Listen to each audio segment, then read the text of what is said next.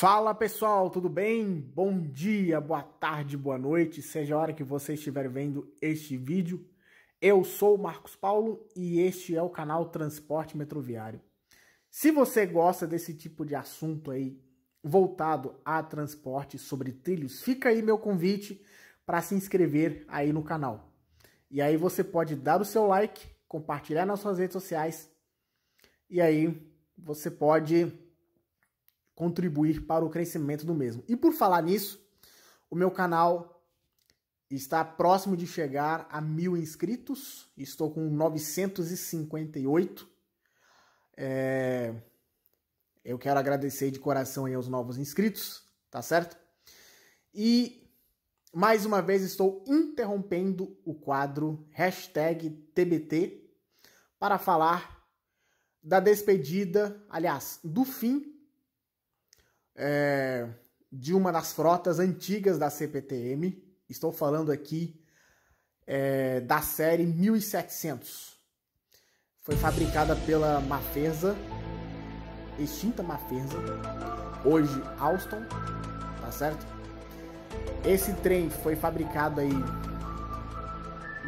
no princípio da década de 80, não sei se foi no princípio ou no final da década de 80, mais precisamente em 1987, por aí.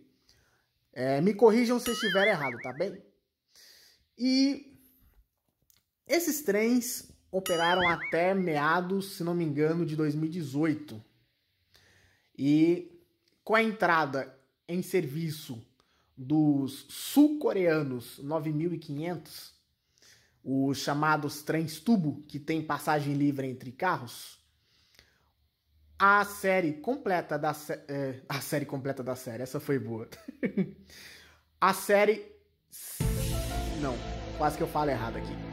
A série 1700 foi baixada, infelizmente. E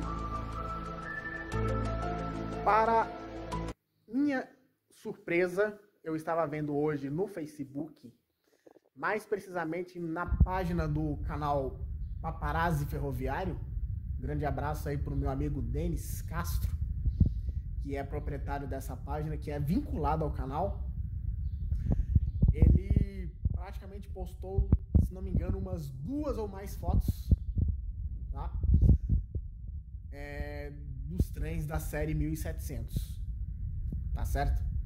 Então todos eles vão, assim como os demais, no caso, o Série 1100, que foi fabricado na década de 50, o 1400 e o 1600, todos eles foram para o corte.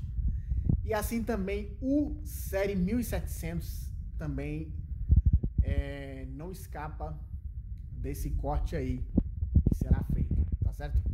Infelizmente, é um fim muito triste para quem gosta da parte dessa parte aí dos trens antigos, para quem tem sempre andou é, nesses trens da década de 80, né?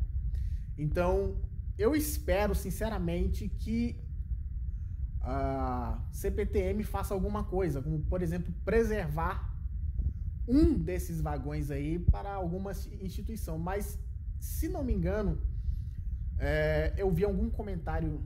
Algum não. Eu vi um comentário da página aí do Paparazzi Ferroviário que não vai ser dado a nenhuma instituição aí preservativa. Né? Então, eu espero que vocês gostem desse vídeo, compartilhem. Mais uma vez eu interrompi esse quadro da hashtag TBT para falar sobre isso daqui, tá certo?